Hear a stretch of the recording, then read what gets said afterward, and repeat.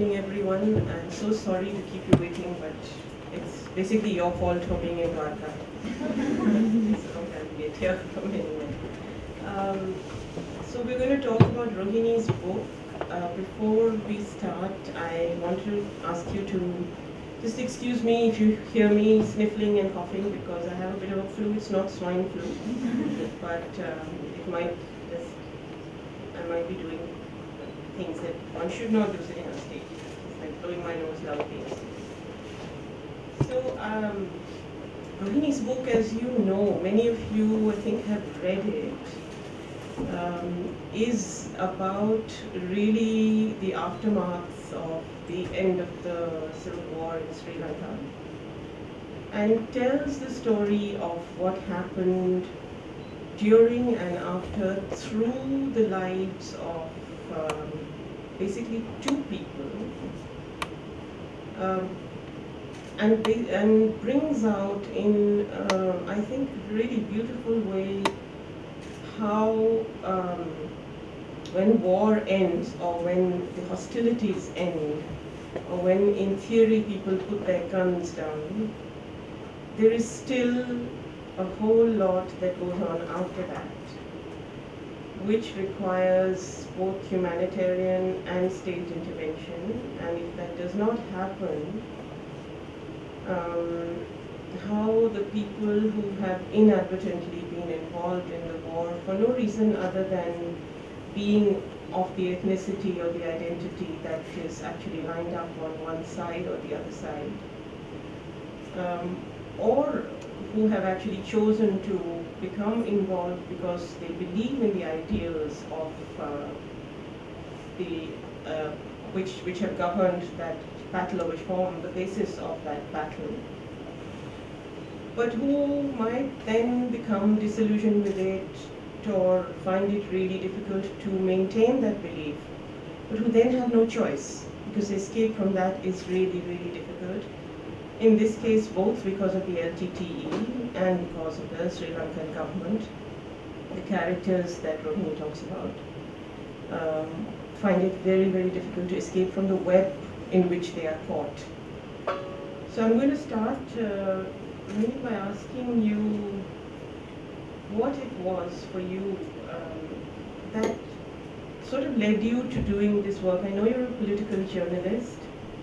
I know you've had a couple of fellowships, which and you wrote a long narrative uh, non-fiction piece for Caravan on, uh, which became the substance of your book later.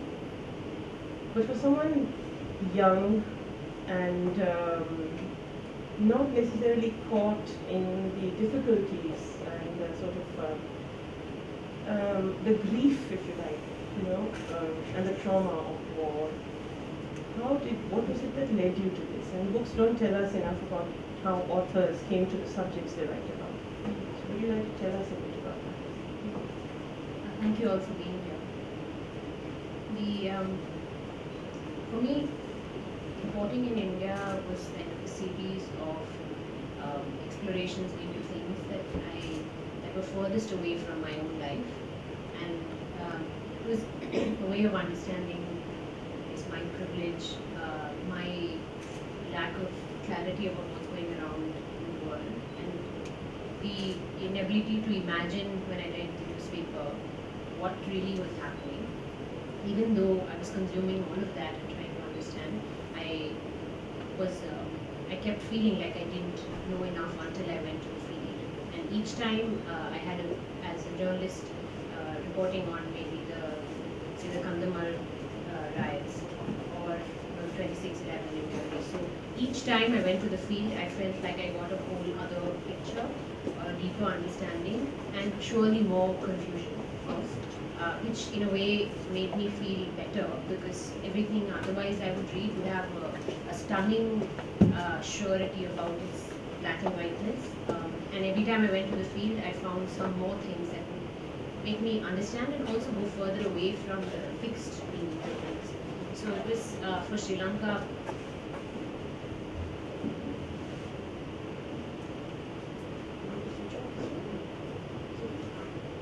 Uh, for Sri Lanka, it was mostly the so in 2009, so I, I grew up in Bangalore and I didn't really hear about the war except uh, you know, when Rajiv Gandhi was assassinated.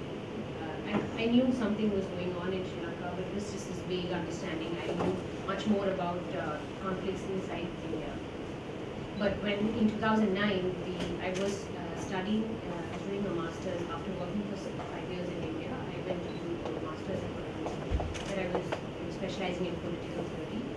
And there I was reading all of these things in a narrative set in this war on terrorism context. And also at that time, Manmohan Singh in India said that this was a great model uh, in which, you know, although 40 to 70,000 people died and 3 million people were displaced, it might be this is the way uh, we could probably beat Naxalism. Uh, so this was, and, and, and also in that same context, reading about this many people dying and being displaced, and it seemed like a very, uh, that kind of model didn't seem to be a great thing to be replicated. Uh, so that's the first time I went to Sri Lanka. Earlier I'd been as a tourist, and even at that time actually I was not aware, but uh, people told me not to go to the north and the east, Yeah. and I wasn't uh, also allowed under my visa to go there, and that was very annoying for me immediately. I guess that's a sort of journalistic instinct, uh, where you wonder why am I not being allowed to a certain place, and that was that continued in 2009, and I went there to report, and um, I kept reporting but not writing anything, and feeling even more and more I needed to find out what it meant that when a militant group is kind of eliminated, but then still things were going on, things had gone underground. There was more more violence in a more insidious way, uh, and things were not resolved. Uh, but they were all act. People were the government was acting as. Uh, so that was what made me kept going back. It became a kind of secret project while I had a full time job, going and doing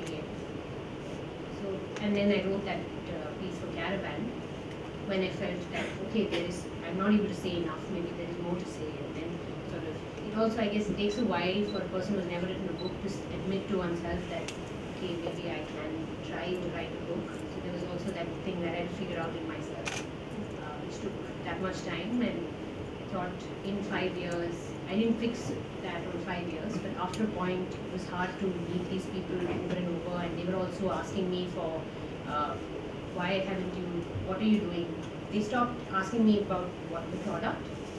Um, they were just talking to me after that, but soon enough they were, uh, some of those people, like the activists and some of the other journalists who were helping uh, who were in Sri Lanka, wanted to see something because they were tired of people coming and going and nothing being, nothing being done.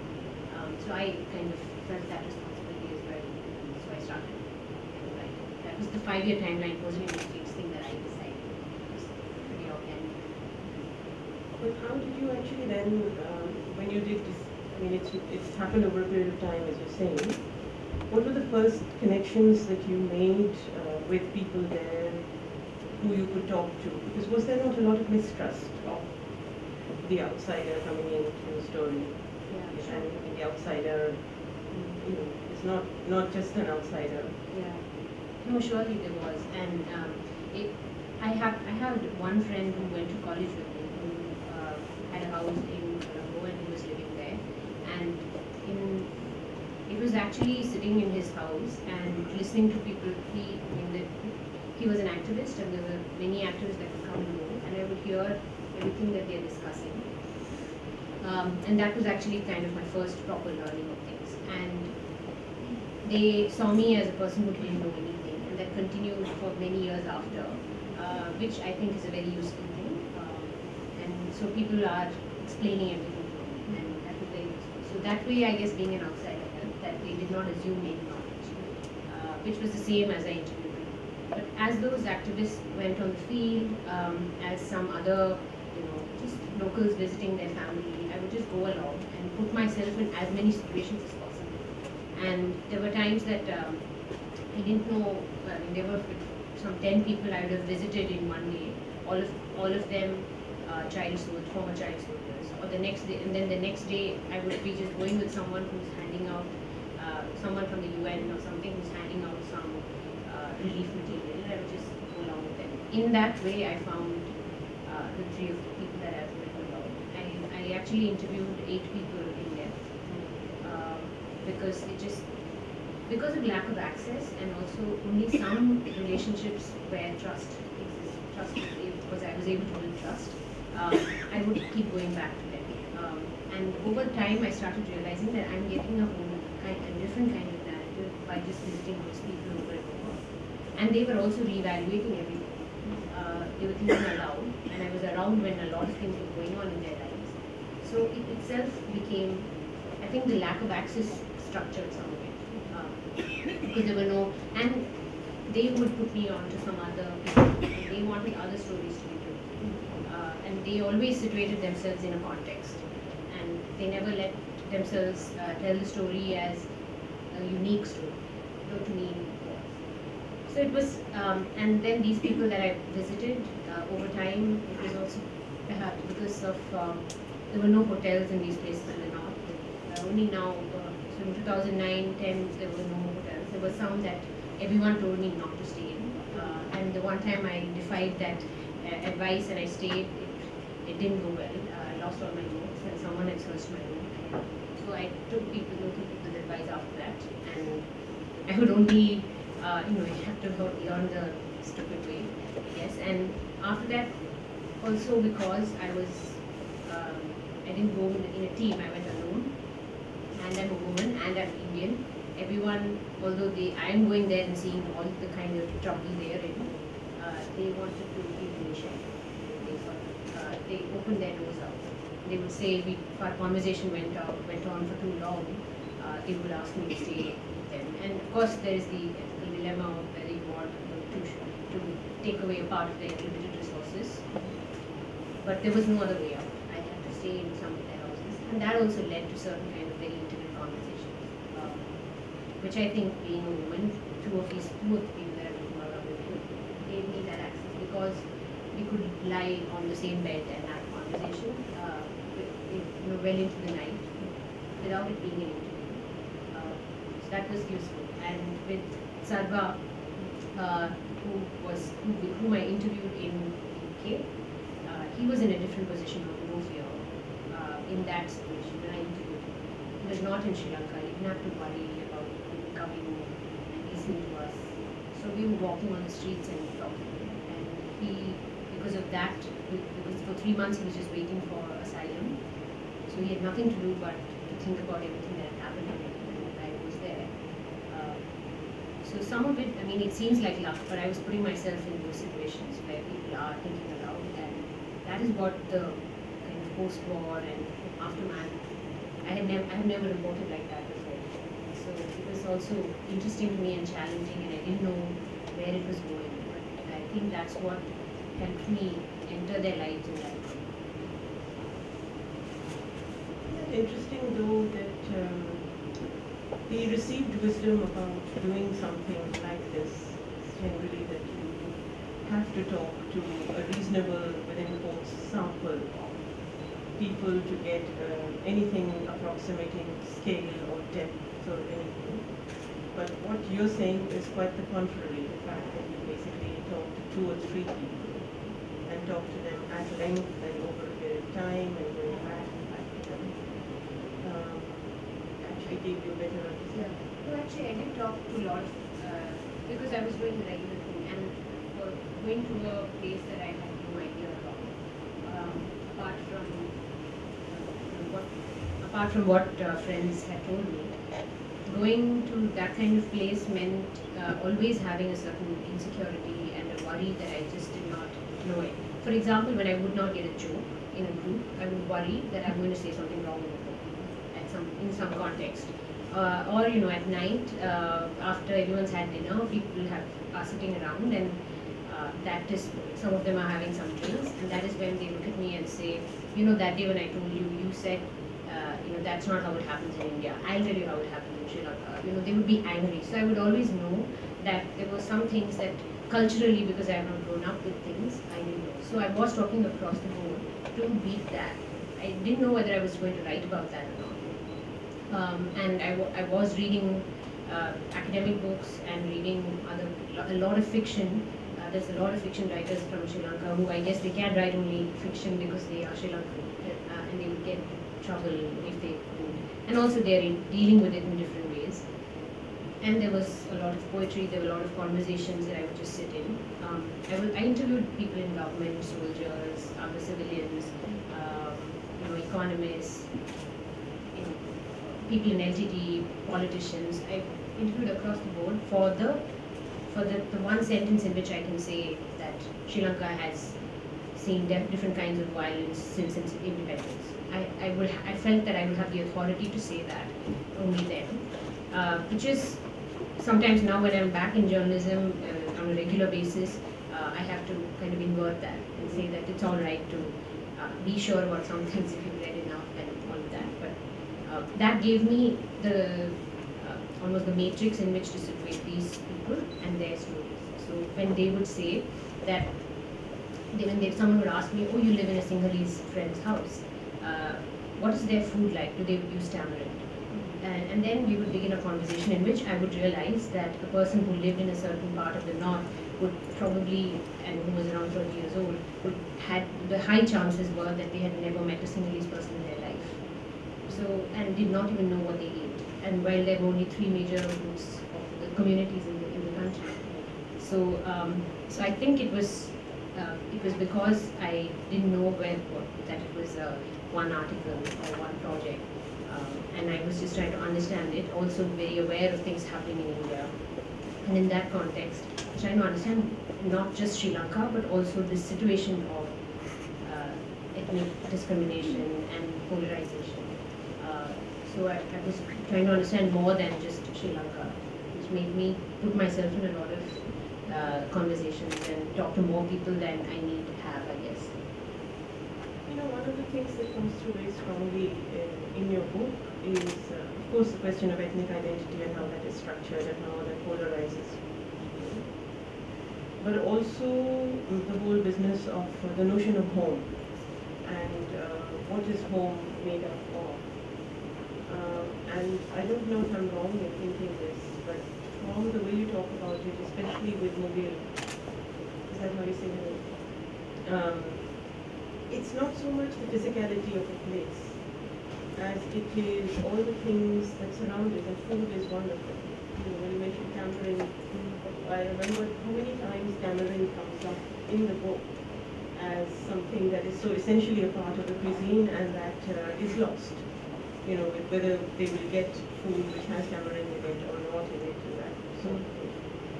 So did you find this uh, in your explorations of the whole question of home? What did you come up with? What is what for people means home, homeland, belonging? Because it seems for the for the refugees in the end, the only constant was movement, not so much the fixity of a place.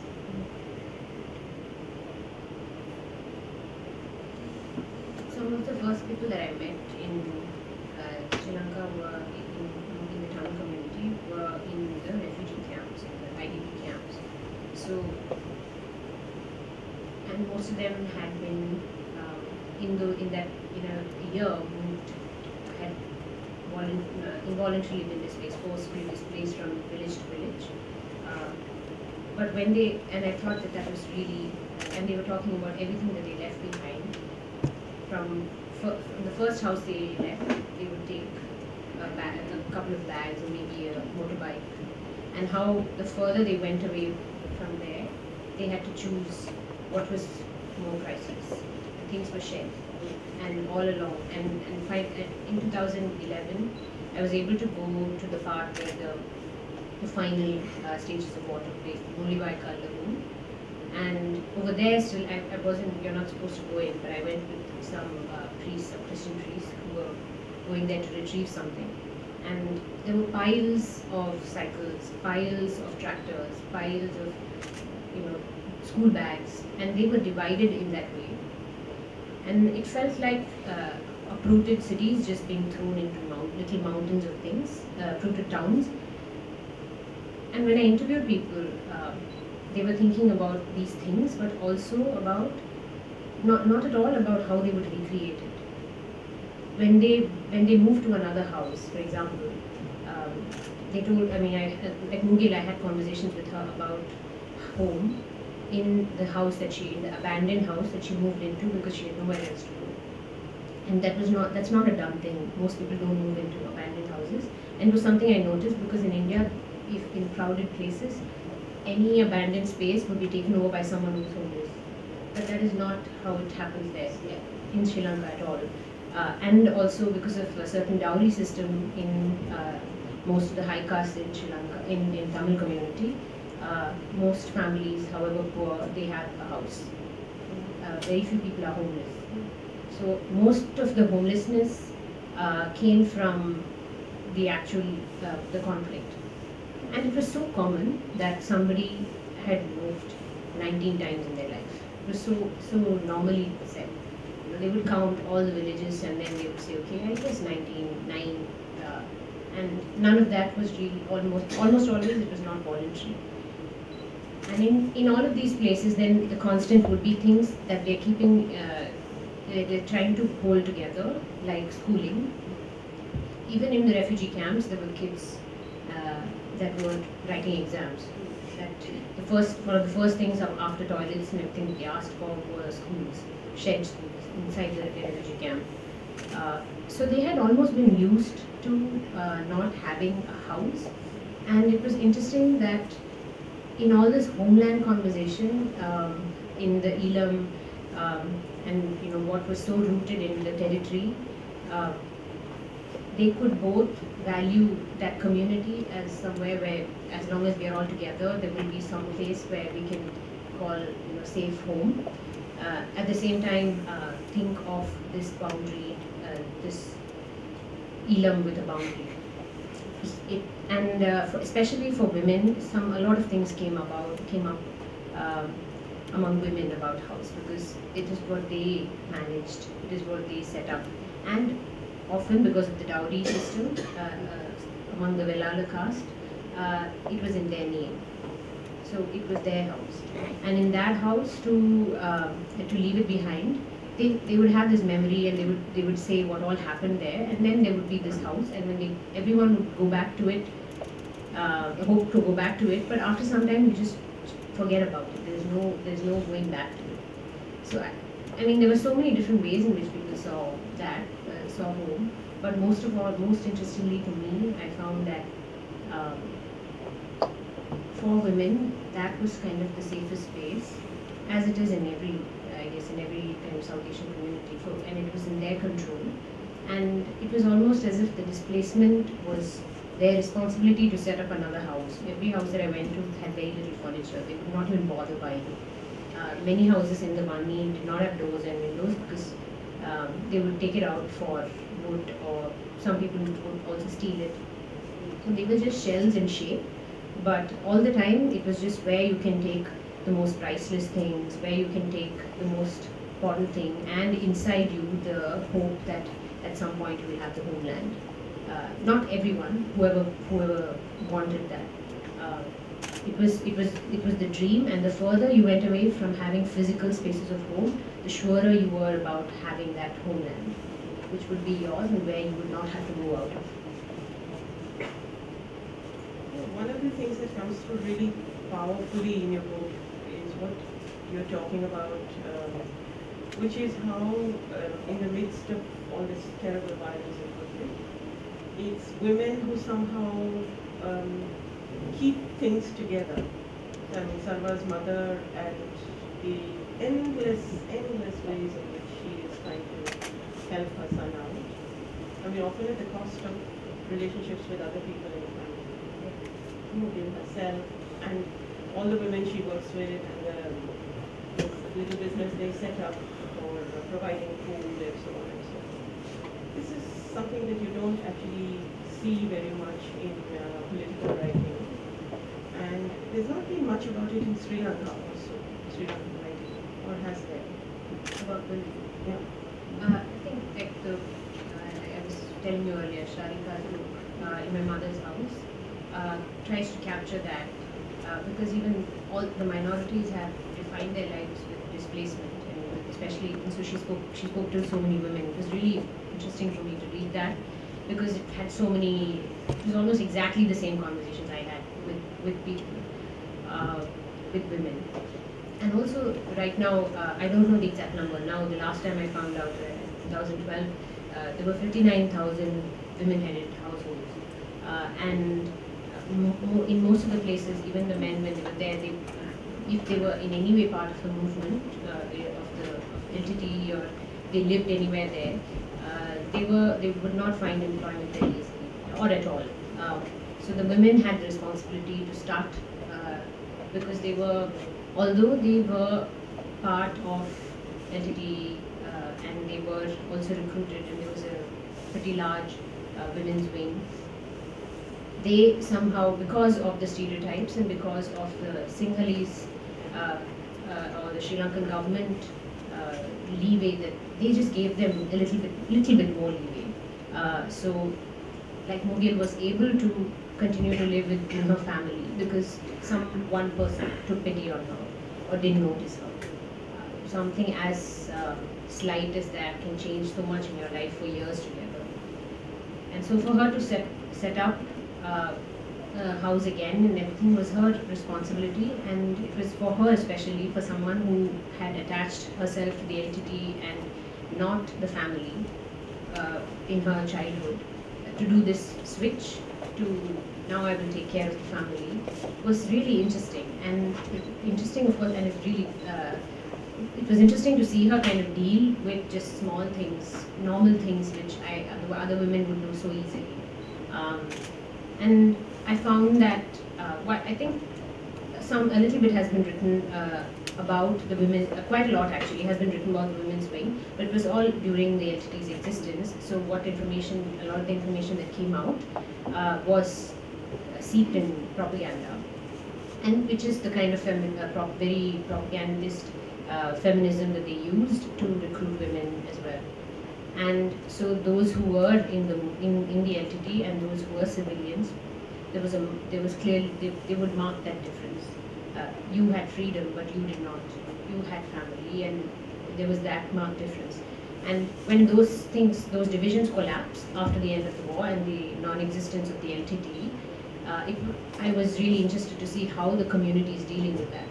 Um, and many of them faced a lot of uh, uh, discrimination within their family, within their families and within their community, and certain kind of expectations that suddenly are dumped on them, you know, just or overnight you are expected to be feminine again, you, you are expected to know how to cook, you're expected to take care of children and want children and all of that, and not talk politics, not read the paper. So it was it was an interesting thing to see, but at the same time, those women that um, uh, you know those the, the kind of femininity that was protected in this area uh, in you know under the under the ST and other militant groups they were supposed to hold within them the Tamil identity of the wearing the bindi and a certain uh, how neatly you wear the sari. You have to inhabit the identity because the identity is under attack. So you are responsible for that as well.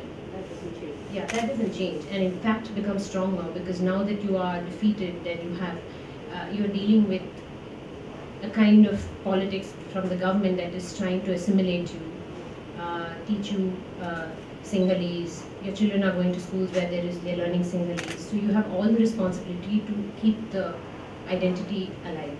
Uh, so it, in, I felt like they were fighting kind of two wars. While the men they were they were under they were intimidated and attacked by the Sri Lankan government. Women had this thing they had to do, this thing they were struggling with even within their community.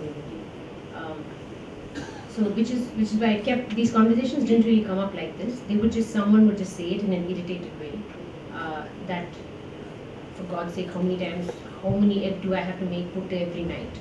You know, just something so irritating to them because they didn't want to do that. Uh, I, I started then I would ask them some more, and I also left my dictaphone in Mugil's house in Indra's uh, house. I just left it with them because there was not I couldn't be there all the time, and also I would I was coming back to India and going back for three months a year, um, and then they would just say things in it, uh, and a lot of times it would be them abusing their someone in their family, or, or just their frustrations in which they're shouting at their child or something which has got recorded. Uh, or some songs they remember so it was interesting. I, I didn't have the opportunity to do that with Sarva uh, because I was there full time. Um, but it was it was interesting to see that kind of uh, the way the women were thinking about where they were and what was happening to them. So uh, it was so obvious that I, I was wondering why this is not part of everything that I've read before um, in that kind of obvious way. But it may be the product of the moment in that in those five years uh, that people were feeling the need to speak about that, and because it was taking shape, also people were figuring themselves out. Yeah, so, And it could also be the product of uh, a long-term relationship and trust, Yeah.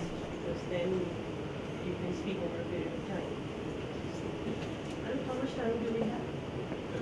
Ten more minutes, okay. Okay, so I'm going to ask you a completely different question now. Um, which is, uh, let me preface it by saying that uh, I love your book. And I've, um, then it's going to be a bad question. it's going to be a, yes, could be a bad question. The question is, um, you know, you used the techniques of fiction to write a non-fiction book. You put yourself into the heads of people. And you imagined what they would have thought, what they would have said, and you actually sort of used dialogue. Um, so my question is twofold. One is, how you, no matter how close you became to them, how could you have known that you threefold? Why did you choose to do that? And third, the reason I'm asking you this is I um, read this book which you may have read or probably know of, uh, Katherine Boo's Beyond Beautiful Forevers, which is a book about a slum in Bombay. And it's a stunning book. And she does the same thing. It's like the it's like you're reading a novel. It's the authorial voice which is actually uh, telling you the stories of these people. And uh, I found her book very disturbing. I didn't find that with yours, maybe because you're Indian and she's, you know, we are all in this white person doing this thing and so on and so forth. I don't know. Um, but I found it very disturbing because the question for me was A, how can you know? And B, can you put your, I mean, you can only put yourself into the head of somebody who's a survivor, victim, poor. I mean, would Katherine Boo have dared to put herself into the head of Anil Ambani? Probably not. So why did you choose to use this technique? Because your material is so powerful. A straightforward narrative nonfiction would also have done it. And I'm going to be teaching a workshop in narrative nonfiction writing. I'm going to use a chapter of yours to raise a discussion about this. But I was just curious. So is it such a bad question? No. it's a tough question. Uh, but it's a question that I have asked myself several times. So, uh, and each time I come up with different reasons I did it. Um, one thing was why, uh, why I did it was as I was gathering all the material and um, feeling like uh, every narrative was almost pushing against the more historical narrative or trying to fit into that. Um, so I decided I have to write about a few people. So that was the first time I thought. Then the other is that I, I guess more mundane reason is that I read more fiction than non-fiction, and I love fiction, and it affects me more deeply than most non-fiction has.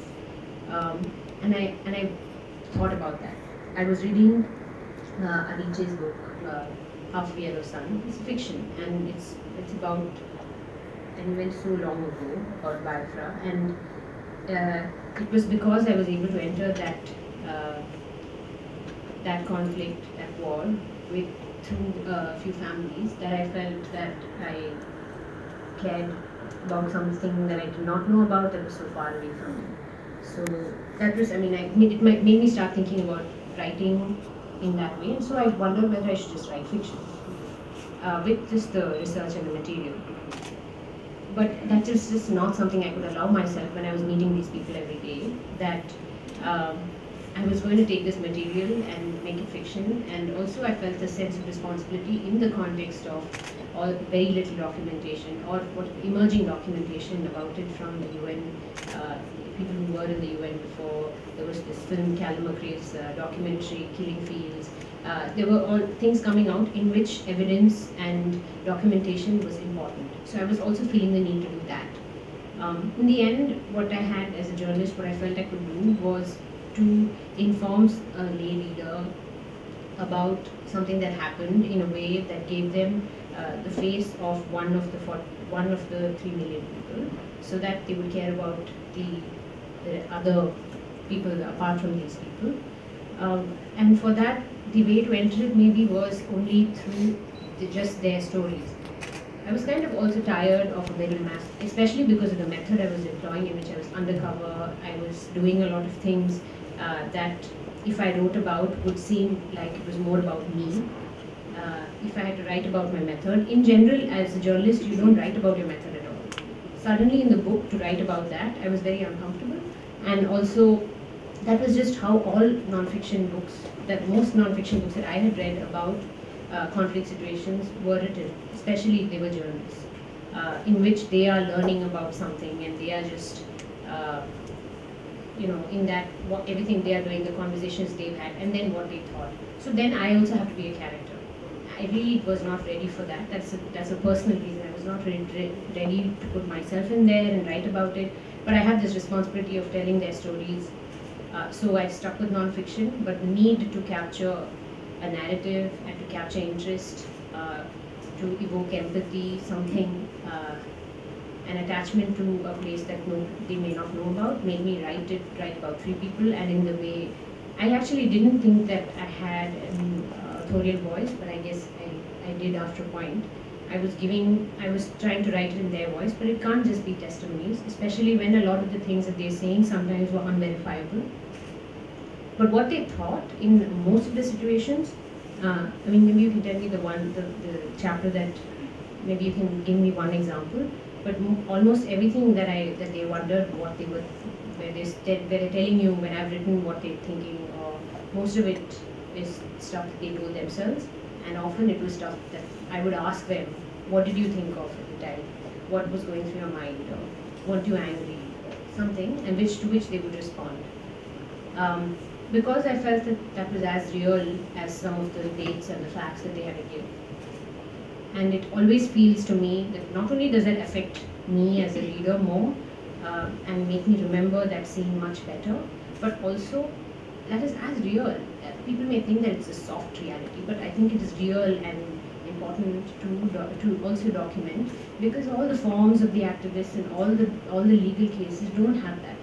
So we'll, it'll be in their memory and it'll change and in over five years itself it changed so much that eh, you know 20 years down the line that would just not be there or their children will know it and it will become this kind of ghost of a story you know that when my grandmother crossed three villages and you know it just becomes that story the dialogue was something that um, I had to take a call on and I'm I, I admit I'm not still sure whether it was the right decision or not but for me it was how people were telling the stories and then I said and then he said and then he said that's how they were saying most of the stories. Uh, I was talking to them in Tamil, uh, so there was a lot of side tangents, everything that they would add to it. And then there was this guy, and he looked at me like he didn't believe me. And then I told him. So that's how people say their stories. Uh, and I thought, why should I remove that and make it, you know, they had a conversation and he didn't believe. It was it was also a way to keep their voice for me, that the dialogue. But for me, it'll be interesting when if I I'm trying to get it translated in Tamil uh, and trying to find a Sri Lankan Tamil to do it. That will be interesting because I've take, written their notes as they were saying, I've written it in English. Uh, to go back to what they said actually, I have some record, most of, some of it is recorded some of it is just notes and what I've, I write notes at, in my room at, at night. Uh, so that would be interesting to see. So I guess Katherine Boo was somebody who just gave me the, when I, I did read the book, but after uh, because I heard so much about it and the same kinds of things that I was thinking about was what she was articulating. And I also found it really odd that for a person who did not put herself in the book, most of the reviews and the interviews were about why she did not do it and like and that explanation. And she was she was the point of the book sometimes. Uh, that also may be because of the Westerner writing about India, I guess. Um, but it legit. Uh, I read her author's note or something she has at the end that I read while I was writing, and it to me validated my decision to not put myself in the book. Most of and also, I I did wonder whether women tend to make that decision more easily uh, as a woman writer, uh, because most of the fiction, non-fiction that I had read on Sri Lanka mostly were male, and they were all in the book. Uh, and I wondered about it, and I thought, should I stand and just put myself in there? But it was just I was not ready to be as interesting a character in the book as everybody else. Uh, and just that was not. Um, it would be too swashbuckling and too macho, and that was not how I wanted to present the story at all. It's too distracting, and there's so much else I have to already say that it was not possible that to do all of this together and do be honest with the material. Is there not? I think it's really interesting how uh, writers take different approaches. I was thinking as you were talking that in uh, my work on partition, I did exactly the opposite. Mm. So it's not true that men put themselves in it. I mean, I did. I was very much in that role. And uh, the decision to do so actually uh, happened because initially because it's so based on interviews. Uh, and I was using those interviews, but I kept feeling that in some ways those interviews had transformed the way I thought about at that moment. And it would be dishonest to uh, keep myself out of it because I was deeply affected by it. And so I did put myself in there to the extent of um, talking about my own dilemmas, of the ethicality of the research, of the exploitation of people you interview, of uh, the, their expectations from you, and what you might be returning, if at all, to them, and all of those things.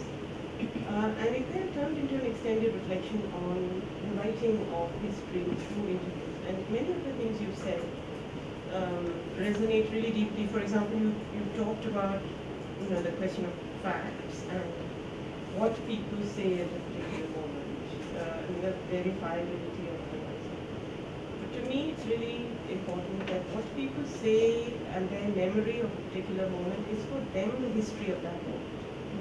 You know, so in a sense, the factual history of that moment, within quotes, the factual history, uh, is not necessarily offering you anything better or deeper than, than what they are saying. In fact, what they are doing is expanding and stretching the boundaries of that history and putting into it the things that are absent in history, which is really emotion, which is really feeling, which is really grief and sorrow and devastation and all of those things which are very much part of history. So it's just interesting to me that um, writers take very, very different approaches. I see what you're saying it's completely legitimate. I haven't yet decided which chapter I'm going to use. Will tell you, but it's just a question that. Uh, No, I, I agree, and, and it's actually, I, you know, if I had done, uh, put myself in there, uh, anyway, that was actually the most thing, the thing that I was most sure of, that I would not be. Uh, that was just some, I don't know, that I, maybe some years down the line, like, I will figure out why I did it. But to say their stories in the, in the way that, like you said, maybe sounds like fiction, was at every point someone feels, oh my god, this happened and I feel this, they should remember that this is real. I, I wanted that.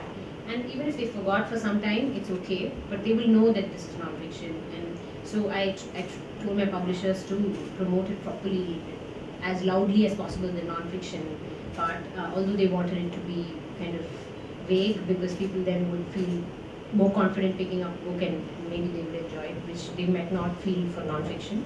But I thought that if um, maybe it's a personality thing about not putting yourself there. At this point, I really don't feel, and also if okay, honestly, one of the main things is that. So I am a half Tamil. I'm a Tamil speaker, and I did not grow up in Tamil Nadu.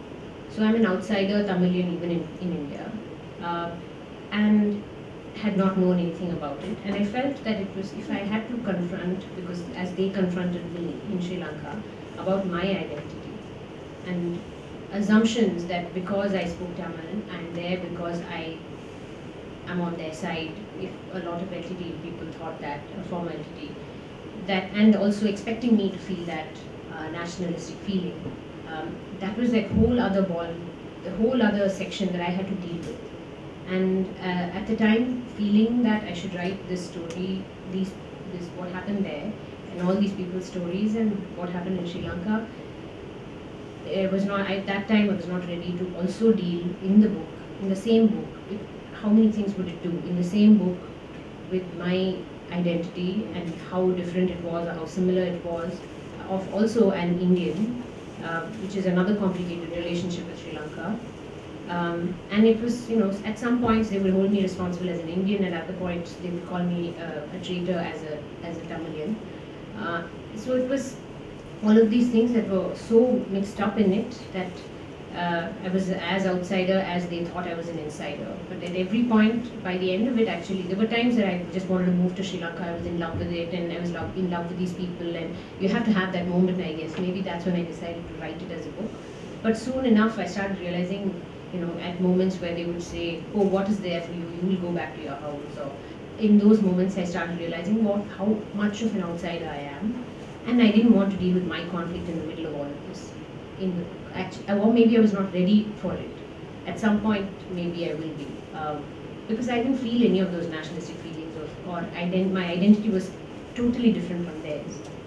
Uh, but because of the structures, it gave me an information. It, it, informed my understanding of how an identity can be even imposed on you, um, as it was on me and in that in those interactions i guess that that was the interesting part that made I, I, every time i thought that that was something interesting i would tell myself that at some point maybe i'll write an article on it or something you know. Um, i was not ready to put all of that in the book uh, in competition with the space for these people's stories as well. So i guess it's a some inability of some sort as well and nervousness. It's a choice. Okay, I have a last question before we open it up, uh, and that is, um, how did you, you know, when you read the book, you see these terrible stories of cruelty, violence, the um, sort of um, inhumanity of human beings towards others, how cruel we can be, um, how much violence we can perpetrate, the torturers, others. But you also see the uh, very profound resilience of human beings and how to move out of that, uh, what they hold on to to them. When you were doing the research, did this grief, violence, all that ever become a pressure on you? Did you ever feel, why am I doing this? Why am I caught this? And when you finished, and book to the publisher, what did you do? Was it like, you were relieved or you feel kind of empty or, when you're so intensely engaged in something, it's that So I think because at some point, uh, with the people I was interviewing, sort of gave up on the fact that I would be writing something. Um, they didn't even ask me if I had finished because of the time. of the time, and also because after a point they just didn't, they forgot that I was there to interview them. Uh, then, and then you know I was attending their weddings, and I was they call me still every week as I used to call them. So the process of the reporting seems to be still going on, and they they um, because now they don't they wanted the story out i must have and because of that connect lack of connection or the part i didn't answer about the access entering the mind of a, of a non-poor person i guess that i, I would say i'll answer that. But here uh, so i am still in touch with those people and in fact they will uh, hold me responsible for when i don't call them. Um, so it didn't end actually uh, the process at all uh, but the, the writing, I, I felt like I felt actually very dissatisfied and did not feel uh, that I had done full justice. But I also told myself that this is what I could do at the time, and I had to just give it in. Um, in terms of how it affected me, there were there was uh, the at all times I was conscious that there was a there was a home that I had to go back to, uh, and I was not living in Sri Lanka. So there was that that affected me most. And in terms of what had happened in their past, when people would tell me what everything that had happened to them, um, it was not that particular story, but the barrage of stories and on a, on a certain day talking to, because anytime I had access, I would talk to as many people as possible.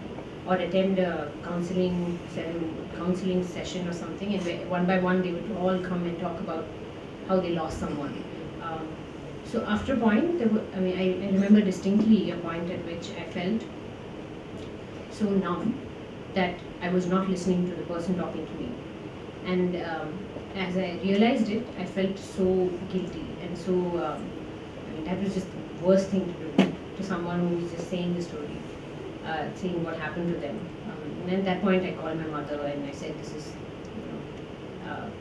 she had no idea what I was doing there, but I, this is something I called up and uh, I just told her. Um, and that's when I did. And someone I had also met a few days earlier uh, who worked with the ICRC, who pulled out bodies and done all of that, he told me about R&R and it's about that moment where you go back and realize all the things that are important and things that you. One thing is you're realizing what you have. It's a, I don't know, I feel like I would feel very selfish when I think that but also realizing that there is a normalcy that even they want, which you have. And that is what keeps you steady and sane. And in that context, when I was listening to them, I felt that I could uh, deal with it. And I could also give that more importance than my exhaustion or my difficulty with listening to it. Because all they are seeking is also the kind of comfort in life that I have. So it, it that made it a little easier. Um, but otherwise, you know, there were so many ways in which they were not always talking about. I mean, as, as I'm sure you also know, that they don't always talk about this at all. They're tired of talking about it sometimes, and they are just uh, bitching about their neighbor or uh, you know just asking me about my family or you know asking we are going for a movie. Uh, that kind of thing. Not we are going to be watching a movie in their house.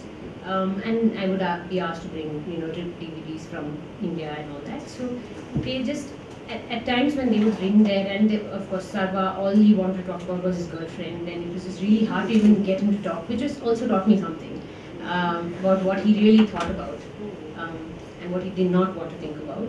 Uh, and you know, when and then there was that ethical question of should I ask him to talk about what he does not want to think about. But there was a reason in the way in which he was using me because he had his asylum interview and he wanted to bounce off certain things and tell me the story. Uh, and so he was using me for that as a sounding board. Um, so I happened to be there for all that, and there these uh, at all times they were not talking about violence, and at these times when they would talk about uh, the good times and the the future happy times that they were all working towards, that's when I realized that it's not just resilience, but just a, a great compartmentalization that everyone we all do. Um, so I also compartmentalized this kind of and my life from this. Okay. The Ambani part. The like, Ambani part. Yes, the Ambani part, I think that is a great limitation that I have. I can't, I have not learned to enter uh, someone, uh, the mind of, maybe someone of my class, maybe yes I can, but I know I, I would, if I worked hard I could. But someone else, it's like a challenge, I want to do it, but I don't know how to yet. But it, because it is something that uh, I feel they will hold me more responsible, they will not be as trusting, which is how I found, uh, which is the experience I've had with interviews with politicians. Um, but there have been moments that they open up, which gives me the hope that maybe if you persevere there also, you'll be able to enter. Whether I'll give myself that right, uh, it's a good question to keep, challenge yourself with all the time, I guess.